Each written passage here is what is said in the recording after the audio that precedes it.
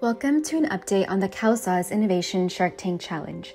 On November 8th, the CalSAWS Innovation team hosted Shark Tank number 2 with their sharks, including our CalSAWS executive director and our county directors from Los Angeles, San Bernardino, San Diego, and San Francisco.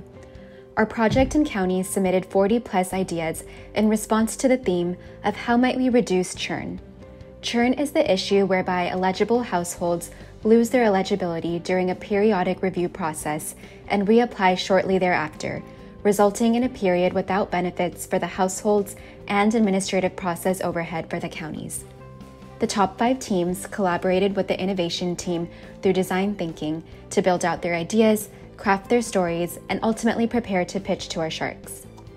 Our pitch teams included marketing and communications to drive awareness and adoption of text reminders, proactive communications, reimagining service to transform the customer experience and journey, advanced analytics to identify impacted populations and create targeted interventions, gamification to provide additional incentives for workers to compete and collaborate to reduce churn, and automate continuation of services through authoritative and real time data.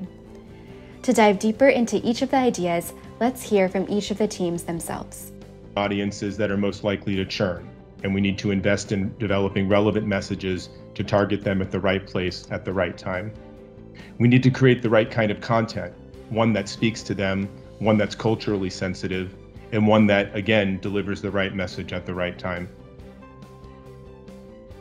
Imagine the possibilities if we could proactively and personalize your two-way communications with CalFresh customers throughout their entire journey in the program, right on their phone. The ability to anticipate and digitally engage through text messaging supported by AI to help customers through the renewal and interim reporting process to reduce churn and rework. But we believe that we can use data to predict which cases will likely churn. Past behavior is, of course, a great indicator for the future and would serve as a key input to the dashboard. Expanding the data set and using machine learning would further provide insights that can continue to evolve along with the population's demographics.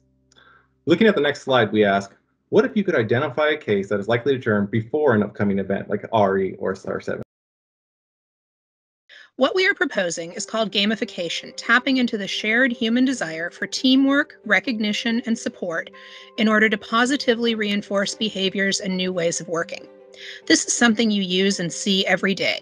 If you travel or shop at certain stores, you may participate in a membership club that allows you to earn status we can offer technology and technical support to CDSS and a county willing to make the journey through the process of requesting a demonstration project to eliminate barriers for eligible households who could automatically be reevaluated through electronic sources at the six month mark without requiring a SAR 7. Our sharks asked questions, provided feedback, and ultimately picked the final winning ideas. Congratulations to our winning teams. We are excited to collaborate with our selected teams to implement these efforts and look forward to viewing their success metrics during Shark Tank number 3 in March 2022. For any questions, please reach out to innovation at calsaws.org.